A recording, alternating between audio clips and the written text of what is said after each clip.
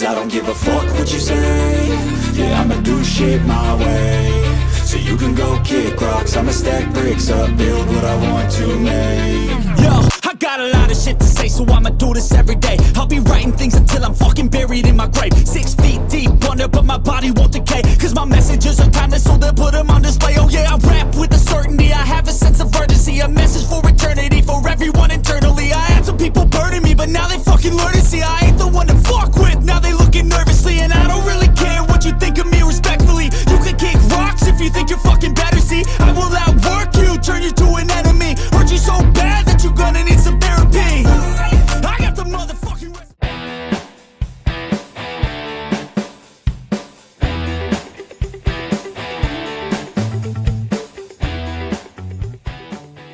Yance Sayuri dan Yakob Sayuri membuat sejarah di dunia sepak bola tanah air.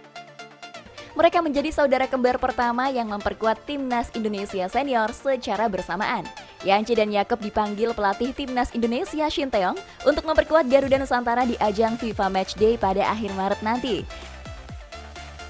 Sebelumnya ada nama Bagus Kavi dan Bagas Kava yang memperkuat tim nasional, namun keduanya membela timnas Indonesia U20 atau kelompok umur, bukan senior. Yance dan Yakob dipanggil Shin Taeyong karena tampil apik bersama PSM Makassar di musim ini. Di Liga 1 2022-2023, Yance tampil 27 kali bersama PSM dengan mendonasikan 4 gol dan 2 assist dari 1992 menit bermain.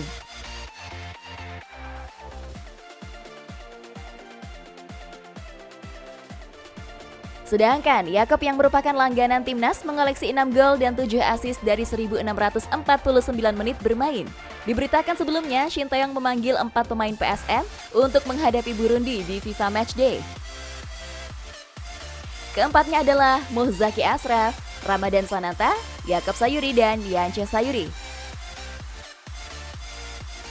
Untuk Ramadan Sananta dan Yakob Sayuri ini merupakan pemanggilan kesekian bagi keduanya memperkuat timnas Indonesia senior. Sedangkan Zaki Asraf dan Yance Sayuri menjadikan pemanggilan ini sebagai debut mereka di timnas Indonesia. Yance Sayuri ini adalah untuk pertama kalinya ia akan berseragam timnas Indonesia. Tentu sesuatu yang membanggakan bagi Yance Sayuri, sebab di timnas Indonesia ia akan bermain bersama saudara kembarnya Yakob Sayuri. Untuk FIFA Matchday kali ini, pelatih Shin Taeyong memanggil total 28 pemain. Laga FIFA Matchday Indonesia versus Burundi akan digelar di Stadion Patriot Candrabaga Bekasi pada 25 dan 28 Maret 2023.